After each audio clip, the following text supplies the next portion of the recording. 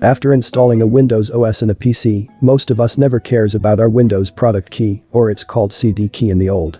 That is, until you need to reinstall your Windows OS again, or may need to transfer your licensed copy of Windows to another machine. And if you are out of luck, your machine crashes and you cannot recover your Windows anymore, along with the product key, and you'll need to buy another Windows license. To avoid these problems, why not save your product key now and keep it in a safe place, which you can easily recover when needed.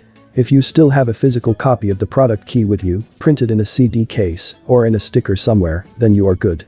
But for those, like me, that does not have the physical copy of the key since Windows come pre-installed in my machine, or those who are so disorganized and probably have already lost a physical copy of the key, this video is for you. I will teach you where you can locate and extract your Windows product key and then save it for future use.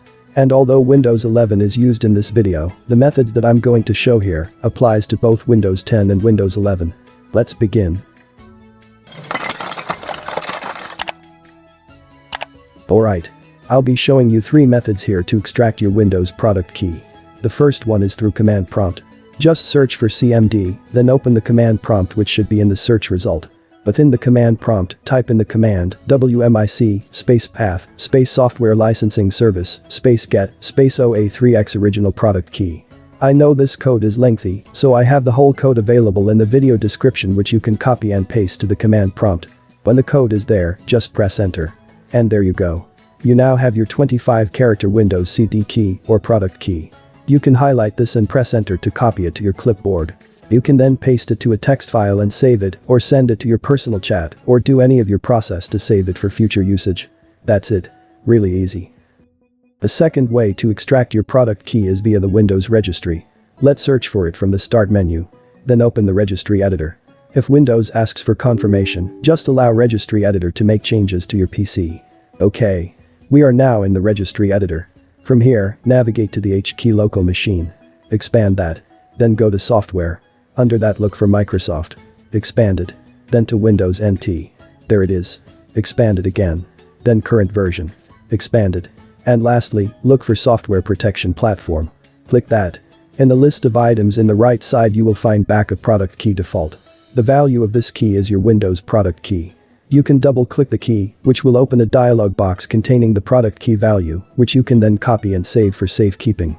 I know that the path of this registry location is long, so I provided the registry path in the video description, which you can copy and then paste to the navigation bar of the registry editor to get to the path easily. Alright. We're done with the registry method. Now on to the last one. We are going to use an external application to get the product key of your Windows. There's no need to install it though, so it is safe and you'll get more information here. Just search for Magical Jelly Bean Key Finder. Open the first one in the result list, which should take you to magicaljellybean.com. For easier navigation the URL of the application's homepage can also be found from the video description below. Magical Jelly Bean is an application that can extract the product keys, not only from Windows, but from many different applications. It also has a paid version, and from the list here, you can see the difference between the paid and free version. For Windows product key, we only need the free version. Below the page, let's click download for the free version. This will download a zip file which is only 9 megabytes. Let's open the zip file when done. Okay. The zip file contains only 3 files and we only need one from here actually. Extract only the keyfinder.x. Let me drag that to the desktop to extract. There it is. Let's close the zip and open the X file now. When asked about making changes to the PC, just click yes. There we go. We now have the information we need and more. Aside from the Windows product key, we also have the Windows version here, where the product key is originally licensed to, which is Windows 10 Home, we have the product part number. We also have the type of product key here which says installed from OEM Media. OEM means original equipment manufacturer, and when your product key is an OEM, it means you cannot use this product key to other machines. The key will only work on the machine where your Windows is installed. For reusable product keys, this line should say installed from full package product media. This additional information that you can get here is why I recommend for you to use the free Magical Jelly Bean Key Finder app to get your product key. You also have the product ID here. The CD key value here is your product key. You also have the computer name and to whom the product key licensed to, the email address and organization. The values here are in text format which you can easily highlight and copy to your clipboard, then save for safekeeping. And that's basically it for this one. A short but very informative video to help you extract and keep your Windows product key so you can use it in case you need a fresh install of Windows. I hope this helps. If you enjoy this video, give me a thumbs up.